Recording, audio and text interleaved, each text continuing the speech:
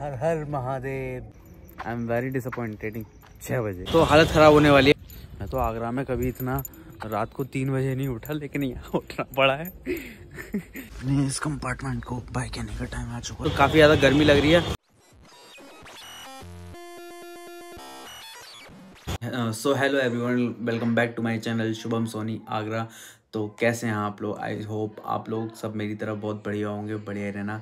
तो अभी का क्या सीन है ना? अभी जो मेरा प्लान है, वो गुजरात जाने का है। गुजरात में दो ज्योतिर्लिंग हैं, बारह ज्योतिर्लिंग में से शिव जी के। एक है सौराष्ट्र में सोमनाथ और एक है नागेश्वर। तो मेरी जो ट्रेन है, वो कल है। रात को दस बजे से की ट्रेन है अहमदाबाद जंक्शन के लिए। ये ब्लॉग पहली बार देख रहे हैं प्लीज़ चैनल को सब्सक्राइब ज़रूर करना क्योंकि आगे जो सीरीज़ आने वाली है गुजरात की, काफ़ी अच्छी आने वाली है। मैं कोशिश करूँगा पूरा ब्लॉग डिटेल्स में दूँ तो इसलिए चैनल को सब्सक्राइब ज़रूर कर लेना। तो अभी हम अपना पैकिंग करते हैं पहले। सो है वी आर ऑल सेट जाने के लिए बिल्कुल तैयार हूँ। अभी टाइम हो रहा है, शाम के पौने नौ बजने वाले हैं। जो ट्रेन है वो दस बजे से है। मैं बिल्कुल तैयार हूँ। अपने लिए बैग पूरा लगा लिया है, सारे कपड़े वगैरह रख लिए हैं। अब टाइम है निकलने का तो निकलते हैं अब। एक ये मेरा छोटा वाला बैग, एक ये बड़ा वाला बैग। निकलते हैं। घर के बाहर का मौसम ना काफ़ी ज़्यादा ठंडा है। टेम्परेचर होगा समथिंग दस के अराउंड काफ़ी ज़्यादा ठंड है। गलन बहुत भयंकर है। अभी मैं जा रहा हूँ और वहाँ पता नहीं कैसा मौसम होगा। अभी चल दी next day rest Ahmedabad junction अब यहाँ से आ रहे हैं बस से सोमनाथ के लिए। सो गाइज़ अहमदाबाद जंक्शन आ चुका हूँ और अहमदाबाद जंक्शन से अब सीधा सोमनाथ के लिए निकल रहे हैं क्योंकि अगर अभी टाइम हो रहा है दोपहर के तीन बज के तिरपन मिनट ऑलमोस्ट चार बज चुके हैं। क्योंकि अगर ज़्यादा डिले करेंगे तो सोमनाथ काफ़ी लेट पहुँचेंगे, फिर वहाँ पर रूम वगैरह लेना वो ज़्यादा डिफ़िकल्ट रहेगा, इसलिए मैंने सोचा कि अभी यहाँ से निकल लेते हैं डायरेक्टली वो ज़्यादा सही रहेगा। तो पहले अभी यहाँ से रेलवे स्टेशन से डायरेक्ट पहले बस लेते हैं सोमनाथ के लिए। सोमनाथ से सीधे सोमनाथ के लिए निकलते हैं पहले। आगरा में जितना अच्छा मौसम था ना, ठंडा ठंडा, यहाँ उतनी ज़्यादा गर्मी है मुझे जैकेट में, काफ़ी ज़्यादा गर्मी लग रही है। और जो मैं कपड़े लेके आया था वो मोस्टली मतलब ज़्यादा गर्मी के वाले नहीं थे। तो हालत ख़राब होने वाली है क्योंकि गर्मी बहुत है यहाँ पे। यहाँ सुबह शाम की थोड़ी बहुत ठंड है, लेकिन गर्मी बहुत ज़्यादा भयंकर है। तो अभी पहले निकलते हैं यहाँ से सोमनाथ के लिए। पहले बस लेते हैं।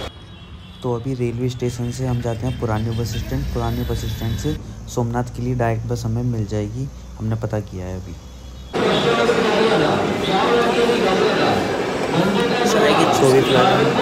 अहमदाबाद बस स्टैंड आ चुके हैं। बस स्टैंड से अब हमें जाना है सोमनाथ के लिए। सोमनाथ के लिए जो बस है, वो शाम को चलती है पौने पाँच बजे। उसमें आपको स्लीपर भी मिल जाएगी। तो मैं प्रेफर करूँगा स्लीपर मिल जाए तो स्लीपर में आराम से सोते हुए जाएँगे और सुबह साढ़े तीन बजे सोमनाथ पहुँचा देगी। कोच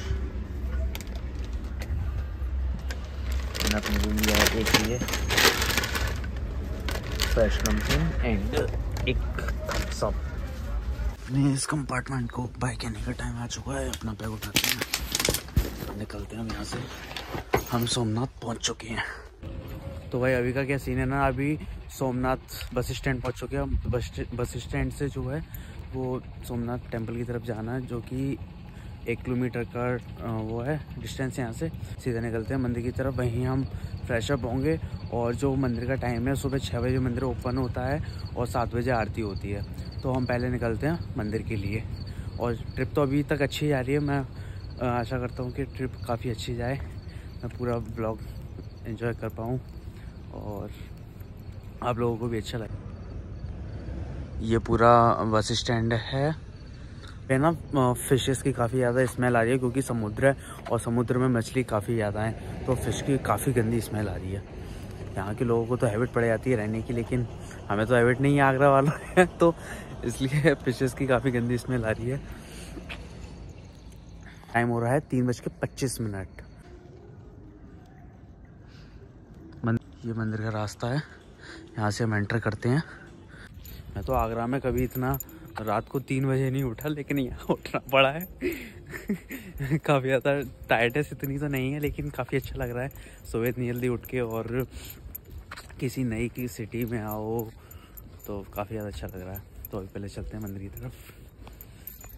वो के देव, महादेव, तेरा नाम सदा लिया जाएगा। यू कैन सी सार्वजनिक भोजनालय है कम्युनिटी किचन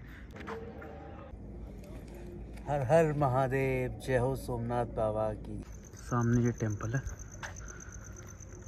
ये सामने लॉकर अवेलेबल है, जिसको लॉकर चाहिए वो आप लॉकर इजीली ले सकते हैं यहाँ से, और यहीं अपना सामान रख सकते हैं। ये सामने प्रवेश एंट्री है, यहाँ से मंदिर के लिए एंटर करेंगे। सामने मंदिर है। सीधा सीधा सीन क्या है ना, कि सब कुछ छः बजे के बाद ही खुलेगा, उससे पहले कुछ नहीं खुलेगा। मैं सोच रहा था कि समुद्र के साइड बीच पे जाके थोड़ा बहुत रेस्ट कर लें, क्योंकि अभी टाइम हो रहा है सुबह के तीन बज के इक्यावन मिनट। तो हम सोच रहे थे कि वहाँ जाके ब्रेक ले लें, वहाँ जाके रेस्ट कर लें, लेकिन वो पॉसिबल नहीं है क्योंकि जो सब कुछ छः बजे के बाद ही खुलेगा। ये मेरे पीछे मंदिर है, ये जो टेंट देख रहे हैं आप, ये मेरे पीछे जो टेंट हैं, ये लॉकर रूम है। तो यहाँ से आप लॉकर ले सकते हो, अपना बैग वगैरह सब वहीं रख सकते हो। और जैसे किसी को फ्रेश अप होना तो उसके लिए पीछे वाइट टेंट के पीछे जाके वहाँ से आप कर सकते हो। लेकिन जो भी खुलेगा सब छः बजे खुलेगा छः बजे से पहले कुछ नहीं खुलने वाला।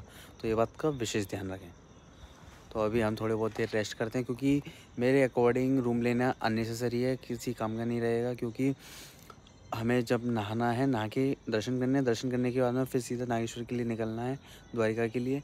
तो इसलिए हम रूम लेना अवॉइड कर रहे हैं तो लॉकर में सामान रखेंगे अपना, फिर उसके बाद में दर्शन करके आएँगे देन फिर बीच पे जाएँगे।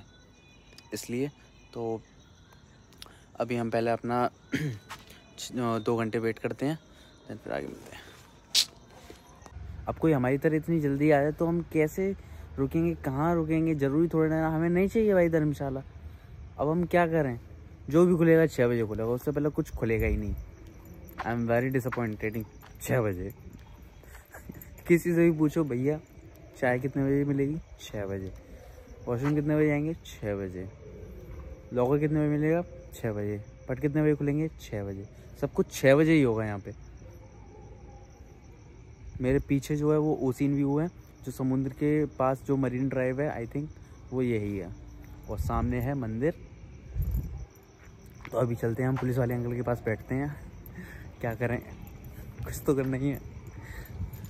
मैं मोबाइल डिस्चार्ज थे।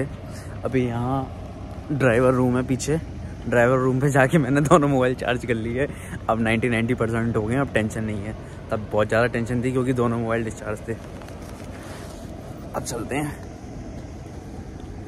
अभी टाइम हो रहा है छः बज रहे हैं, सात बजे से फिर मंदिर जाना है।